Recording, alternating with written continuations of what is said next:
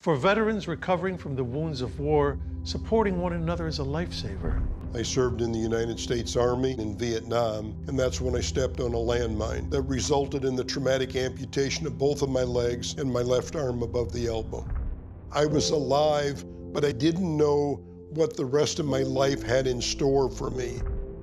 Multiple deployments have caused a huge problem with those that served in Iraq and Afghanistan, and it's difficult for them to come back and adjust to civilian life. There were moments of frustration. You can't do this anymore, you can't go here anymore. I absolutely felt like I lost my purpose. I was looking at a long period where I wasn't going to be able to do anything for myself. I just didn't want to be here. Many veterans feel abandoned or alone till DAV steps into their life.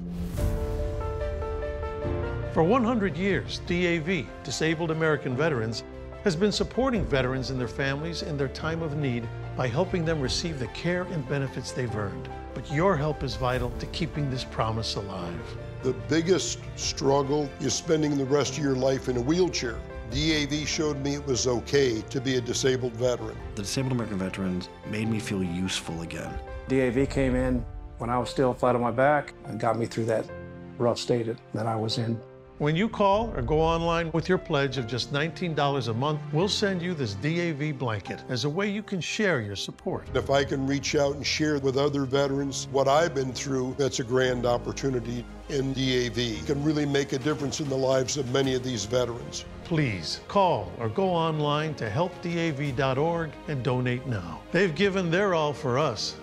Please open your heart and give what you can to them.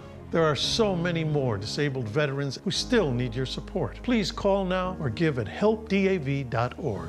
Thank you and God bless you.